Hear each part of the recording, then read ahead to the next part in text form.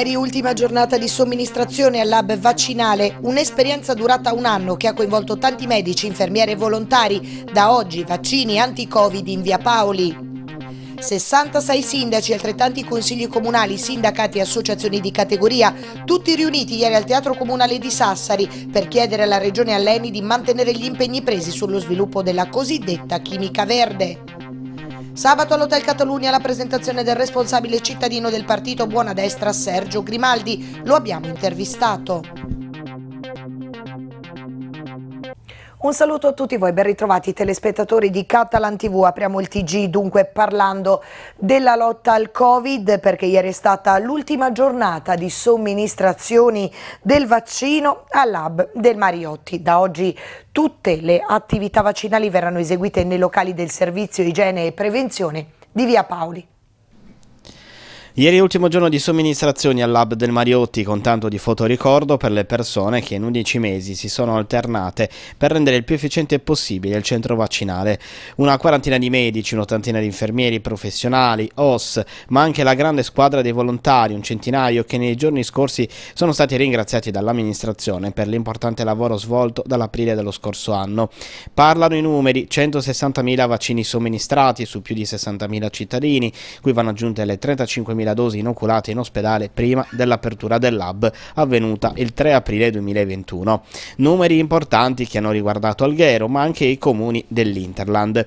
L'attività vaccinale ovviamente non si ferma. Le somministrazioni da oggi proseguono nei locali del servizio di igiene e prevenzione in via Paoli. In questi giorni gli operatori del servizio hanno provveduto a contattare gli utenti già prenotati per riprogrammare gli appuntamenti nei giorni e nelle ore di apertura del sito di vaccinazione che sono dal lunedì al venerdì venerdì dalle 15 alle 19. Importante continuare a vaccinarsi, dunque, ma anche tenere alta la guardia, come dichiarato ieri dal Ministro della Salute Roberto Speranza, dopo il nuovo aumento di contagi che si sta registrando. La pandemia non è scomparsa, ha detto, e il virus continua a circolare. Questa è una fase diversa, ma serve mantenere cautela. La protezione che ci danno i vaccini è altissima e ci sta consentendo di gestire questa fase, ma bisogna mantenere cautela, attenzione, prudenza e gradualità nel ritorno alla vita normale. Anche in Sardegna, così come in tutta Italia, è stato segnalato l'aumento di casi giornalieri. Confortante però la situazione negli ospedali, il numero dei ricoverati nelle terapie intensive è stabile, 18, mentre i ricoverati in area medica sono 323, 13 in più rispetto al bollettino del giorno precedente. I nuovi casi registrati invece ieri sono stati 1020, ma a fronte di meno tamponi eseguiti, 3383, con il tasso di positività che è schizzato al 30%. Cambiamo argomento. 66 sindaci e altrettanti consigli comunali, sindacati e associazioni di categoria, tutti riuniti ieri al Teatro Comunale di Sassari per chiedere alla Regione e all'ENI di mantenere gli impegni presi sullo sviluppo della cosiddetta chimica verde nel polo industriale di Porto Torres. Presenti anche il commissario della provincia, Pietrino Fois, diversi consiglieri regionali e i parlamentari eletti nel territorio. Assente per altri impegni istituzionali il presidente della della Regione Cristian Solinas, rappresentato dall'assessora regionale dell'industria Anita Pili. La Regione è convintamente impegnata al fianco dei lavoratori per ottenere il rispetto degli impegni assunti ben 11 anni fa dal governo nazionale e dall'ENI e i loro ritardi non sono più accettabili. Si tratta di un progetto necessario per il rilancio del territorio e per lo sviluppo sociale ed economico della Sardegna ha detto Soninas ieri in serata.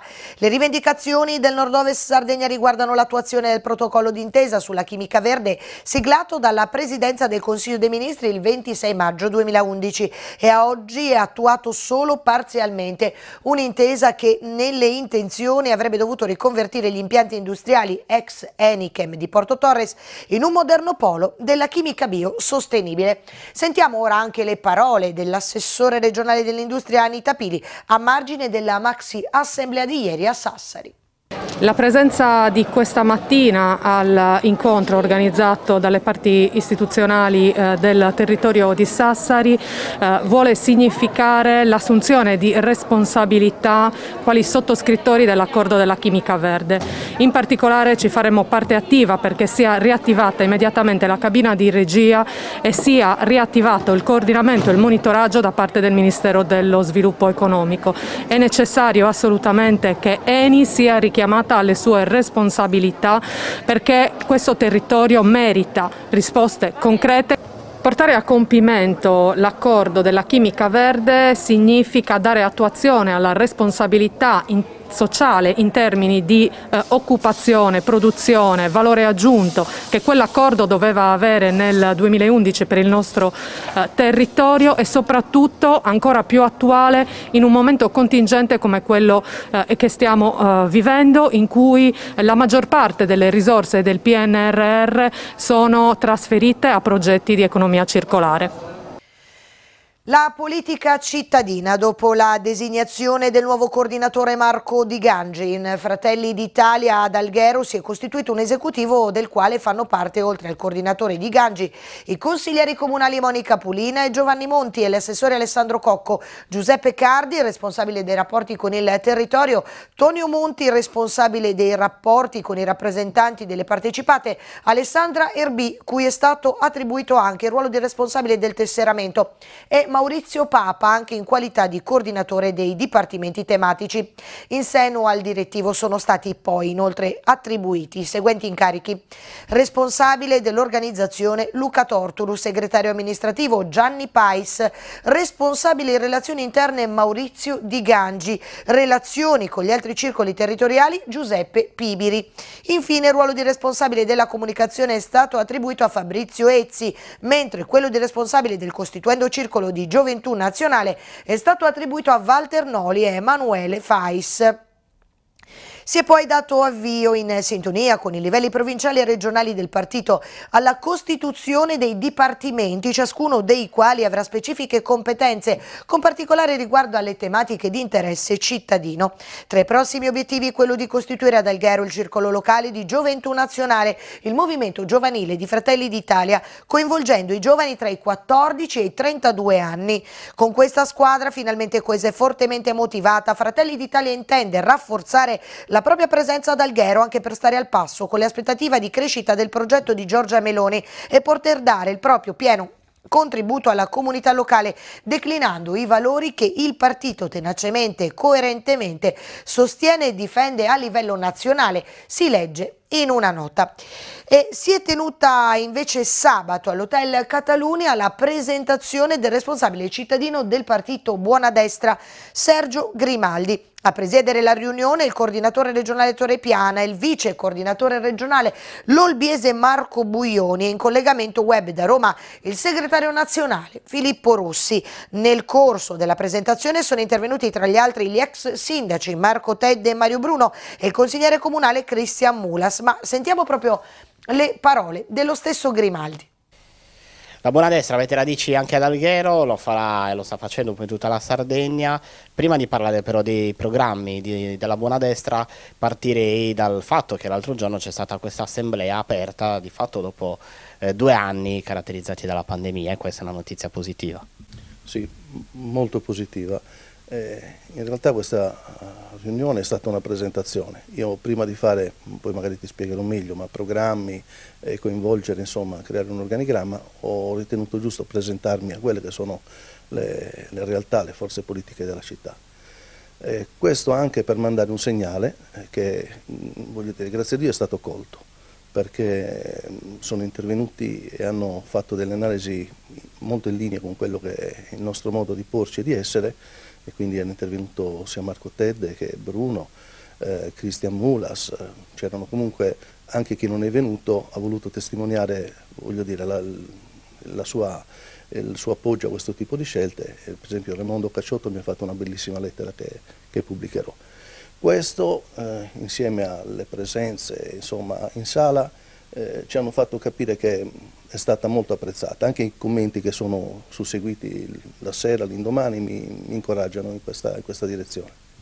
C'è voglia di buona destra ad Alghero, con quali eh, obiettivi, con quali programmi eh, si affaccia a questa realtà politica in città e non solo? Guarda, i programmi che ho accennato sono da, veramente da costruire, sono da costruire insieme, eh, in realtà noi andiamo a cogliere quello che è un grande vuoto che tutti possono osservare. C'è tanta gente che ormai non, non, segue più la politica e quindi eh, c'è tanta gente che si è allontanata, un po' delusa da questo tipo di politica nazionale e questo viene anche osservato a livello locale. Noi dobbiamo in questo momento cercare di costruire un, un gruppo di lavoro molto aperto, dialogando. Il mio, il mio, compito con quello di coordinatore non è quello di correre eh, a una candidatura, ma quello di coordinare.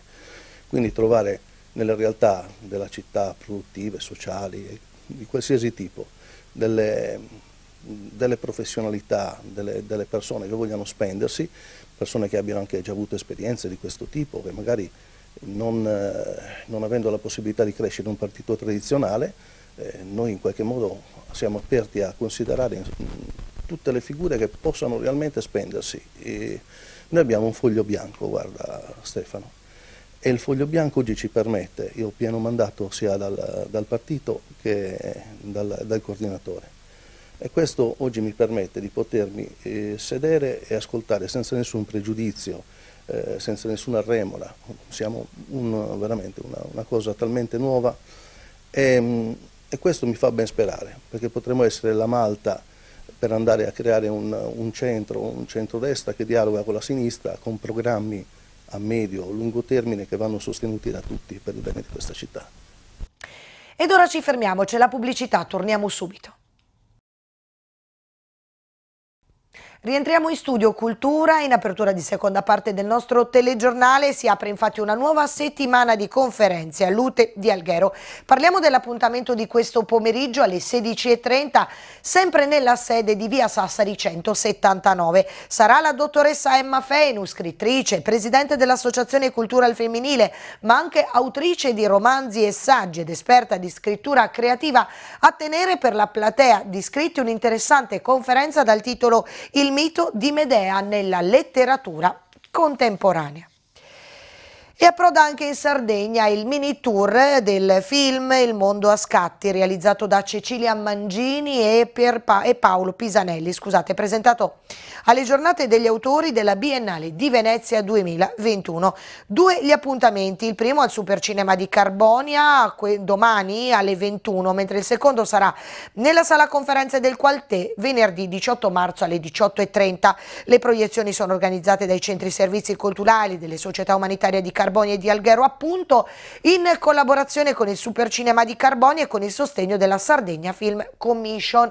Per quanto riguarda la proiezione di Alghero questa sarà di ingresso gratuito ma è consigliata la prenotazione telefonando allo 079 974375 dal lunedì al venerdì dalle 10 alle 13 e dalle 16 alle 18 oppure si può scrivere all'indirizzo alghero-umanitaria.it Entrambe le proiezioni saranno accompagnate dal regista Paolo Pisanelli che ha costruito il film insieme a Cecilia Mangini, straordinaria documentarista scomparsa nel gennaio 2021, con un intreccio tra vita privata e carriera, tra passato e presente, come un viaggio nel mondo delle immagini e delle trasformazioni.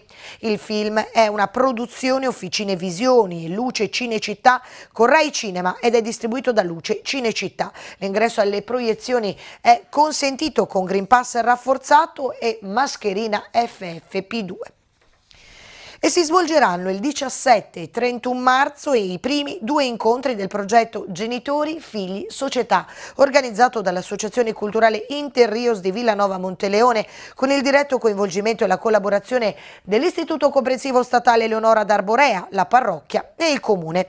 Gli incontri che sono inseriti all'interno del festival La Cultura Oltre i Confini saranno tenuti dalla dottoressa Patrizia Virgilio, autrice del libro L'armatura dell'educatore, manuale semiserio serio per genitori e per tutti coloro che si occupano di educazione. È counselor e formatore per adulti e insegnante nelle scuole dell'infanzia. I due incontri si terranno nel salone dell'Associazione Misericordia, Piazza dello Guibba numero 7 a Villanova Monteleone alle ore 18. Questa iniziativa accolta favorevolmente e con interesse dalla dirigente scolastica, la dottoressa Laura Neri, dal parroco, il dottor Francesco Tavera e da tutta l'amministrazione comunale con la collaborazione dell'Associazione Misericordia è rivolta ai genitori genitori, a tutto il mondo della scuola, agli educatori in generale, a tutti coloro che vogliono rapportarsi e confrontarsi con le problematiche che affronta il progetto e anche come aiuto a liberarsi dagli strascichi che ha creato il Covid-19 in questi ultimi anni a tutti i livelli. Nasce l'area canina nel Parco Tarragona di Alghero, un vasto spazio all'interno del polmone verde del centro del comune catalano dove poter far giocare e correre i nostri amici a quattro zampe. Un ulteriore servizio che viene proposto da Folia Bio, gestore del Parco Tarragona di Alghero, questo in vista di ulteriori progetti che saranno realizzati nei prossimi mesi al fine di aumentare l'offerta di svago, relax e benessere per gli algheresi e villeggianti. Proposte che saranno anche connesse con le eccellenze agroalimentari ed enogastronomiche del territorio, oltre che gli attesi e classici giochi e format anche didattici per la diffusione della tutela ambientale dedicati ai più piccoli. Ed ora parliamo di basket femminile, in particolare degli A Serie B, con la costruzione Valentino Pallacanestro Alghero che ha mancato di un soffio, la prima vittoria in campionato proprio nella gara che ha chiuso di fatto la stagione regolare. Abbiamo parlato dell'andamento della stessa stagione e dei prossimi play-out con il coach delle giallorosse Matteo Mastropietro. Coach, si è chiusa questo fine settimana la fase regolare la, del campionato di Serie B femminile, purtroppo è arrivata una sconfitta, una sconfitta di misura, resta la mano in bocca perché potevano arrivare due punti. Beh, assolutamente sarebbe stato eh, più soddisfacente per le ragazze, per lo staff tecnico, per tutta la società concludere eh, la stagione regolare con una vittoria, ma eh, diciamo che le soddisfazioni per eh, il risultato finale non mancano, in quanto la squadra è una squadra che continua a lottare, una squadra che continua eh, sua, il suo percorso di crescita e le ragazze stanno continuando a eh, dimostrare che, che non abbiamo sbagliato la scelta iniziale le ragazze stanno crescendo e le ragazze sono contente di rimanere con noi e sono convinte del progetto. Una squadra che continua il percorso di crescita, tante ragazze giovani. Assolutamente, diciamo che eh, il nostro progetto iniziale era proprio quello di eh, costruire, di avere una base, di costruire poi nel tempo eh, una situazione che aiutasse le giovani ad esprimersi, eh, pensando poi alla diciamo, alla direzione che questa società eh, ha avuto nel tempo, una direzione storica che va appunto ad abbracciare le categorie più giovani e a seguire le categorie più giovani nel loro percorso di crescita. Si aspettano ora i recuperi di, di alcune partite, si conoscerà quindi anche la, eh, vostra avversaria per i play-out, come ci arriva la squadra? Sì, innanzitutto l'avversaria eh, diciamo che è tra eh, due squadre, una di Cagliari, Astro, e l'altra invece della provincia di Sassari, Dinamo 2000.